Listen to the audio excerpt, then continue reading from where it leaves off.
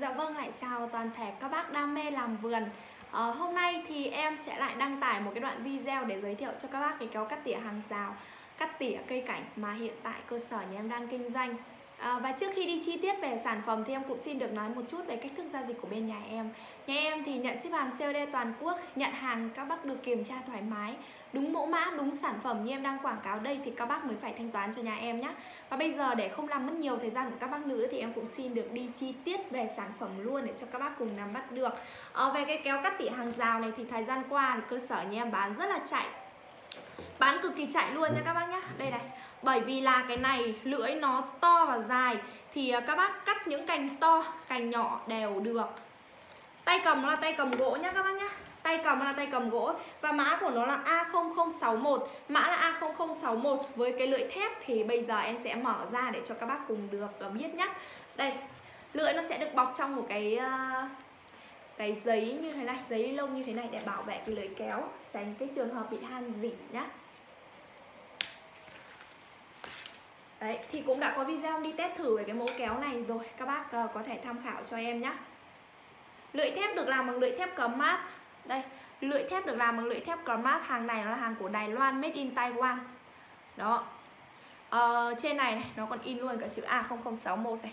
Cấm mát đây, cái các bác nhìn lưỡi giúp em này nhá em sẽ mở ra cho các bác cùng được nhìn này. Đó lưỡi nó rất là to như thế này. Đấy và rất là sắc luôn nha các bác nhé tay cầm thì nó được làm bằng tay cầm gỗ như thế này.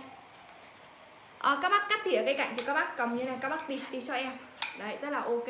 Còn nếu bác nào mà muốn ờ, tỉa hàng rào hoặc là tạo vòm thì các bác hãy lật cái mặt này lên để các bác tạo vòm nhá. Còn bác nào mà cắt hàng rào hay là cắt cành cây thì các bác cắt bằng mặt này. Còn nếu mà các bác tỉa cây cạnh tạo vòm cây cho cái dáng bonsai của nhà mình thì các bác lấy cái mặt này cho em để các bác tỉa nhá. Thì ờ, cái kéo này có rất nhiều công dụng và các bác có thể cắt được những cành lên tầm 10 20 cm các bác đều vẫn có thể cắt được nhá. Đấy, như thế này một cái con kéo rất là hữu dụng cho các bác. À, Mùa này thì nó là một cái mùa xuân thì cây cối nó đâm chồi cũng ờ, rất là nhiều. Và ở trong vườn nhà mình cũng có nhiều cái cây cỏ dại thì các bác có thể dọn dẹp vườn nhà mình bằng một cái cây kéo như thế này một chiếc kéo như thế này.